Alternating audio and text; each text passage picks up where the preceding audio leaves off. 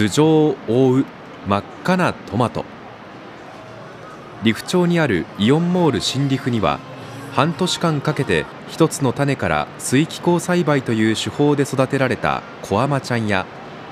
大ぶりのコーリコピントマトの木が展示されています。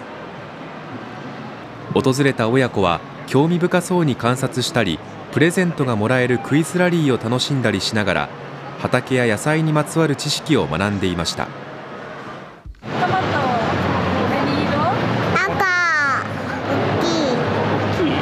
土で育つかと思ってたんですけど水だけで育ってるってことをあの聞いてとても